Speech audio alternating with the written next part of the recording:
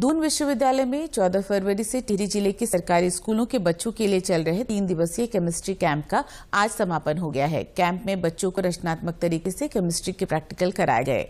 दून विश्वविद्यालय की कुलपति डॉक्टर सुरेखा डंगवाल ने कहा कि ग्रामीण क्षेत्रों के सरकारी स्कूलों के बच्चों में ज़बरदस्त प्रतिभा है। वैकल्पिक शिक्षा के ज़रिए इस प्रतिभा को प्रोत्साहित करने की कोशिश की गई। तरीका था ऑल्टरनेट वे ऑफ़ टीचिंग था, ये अपने आप में बहुत ही लाभप्रद है, बहुत ही इफ़ेक्टिव है। और ये डिस्ट्रिक्ट टेहरी के दो ब्लॉक जाखणीधार ब्लॉक और चंबा ब्लॉक इनके करीब 42 स्कूल के इकहत्तर छात्र छात्राओं ने इसमें प्रतिभाग किया। हमारी जो लैब फैसिलिटी थी, वो उन तक पहुंचाई गई। प्रोफेसर मित्रा जो इंडियन इंस्टीट्यूट ऑफ़ साइंसेस के सीनियर प्रोफेसर हैं ऑर्गेनिक केमिस्ट्री के, उन्होंने मज़ेदार रसायन करके तीन घंटे का जो विभिन्न एक्सपेरिमेंट बच्चों के सामने रखे। ये बच्चे इतने खुश थे, हमने थिएटर की वर्कशॉप भी इनके लिए रखी और लैब के सारे एक्सपेरिमेंट इनके लिए रखे फॉरेंसिक से लेकर और सब चीज़ें कैसे काम करती हैं, वो इनको बताया और मुझे लगता है कि ऐसे कैंप ये आयोजित होने चाहिए।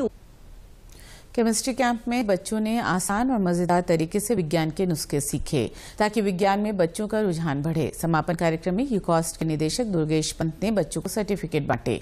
उन्होंने कहा कि ग्रामीण क्षेत्रों के सरकारी स्कूलों के बच्चों में सीखने की क्षमता कूट कूट कर भरी है।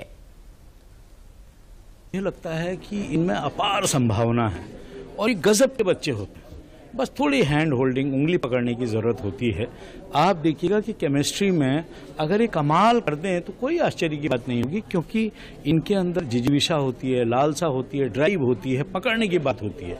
हम लोग इसी दिशा में कार्य कर रहे हैं। मुझे बड़ी प्रसन्नता है, क्योंकि जितने बच्चे आए हैं, इनको ठीक समय में ये ट्रिगर मिला है।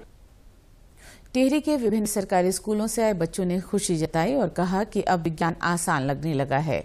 इसे लेकर जो डर था, वो अब नहीं रहा। केमिस्ट्री एक फन के जैसे होती है, इसे हम सीरियस नहीं लेना चाहते कि, बट हाँ हमें इसे सीरियस में लेना चाहिए क्योंकि ये एक वो है। मतलब एक ड्रामा के जैसे उन्होंने हमें ये बताया, उन्होंने हमें एक्सपेरिमेंट भी सिखाए और हम वहाँ जैसे हमने चौदह तारीख हमने दो एक्सपेरिमेंट करे थे पंद्रह तारीख में तीन करे और आज भी हम एक करके आज भी हमने एक सीखा। मेरे को यहाँ बहुत अच्छा लग रहा है। हमने तीन दिन के प्रोग्राम में यहाँ बहुत कुछ सीखा जिसमें साइंस प्रैक्टिकल हुआ जिसमें क्रिस्टलाइजेशन वगैरह वगैरह बहुत सारी चीज़ें सीखी।